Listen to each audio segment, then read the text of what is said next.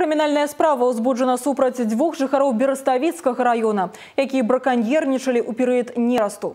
З дапамогай пад'ёмнай сеткі і сачка мужчыны на рацэ верацейка каля вёскі стары дворац злавілі 45 рыбін, агульнай вагой 9 кілаграмаў. Літаральна за некалькі гадзін да гэтага работнікамі ваўкавыскай інспекцыі прыродааховы быў затрыманы жыхар Зэльвы, які таксама незаконна дабываў рыбу ў час нерасту. Шкода, нанесеная навакольнаму асяроддзю, асяроддзю ацэнена ў 339 базовых велічынь.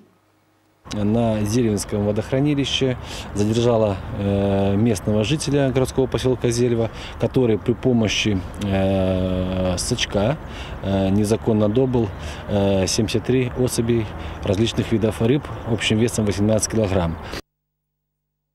Факт браконьерства меў месца і ў шчучынскім раёне. У затоцы ракі Нёман бліз вёскі талочкі быў затрыманы 36гадовы мужчына. Дзвюмя сеткамі ён злавіў 26 рыбін.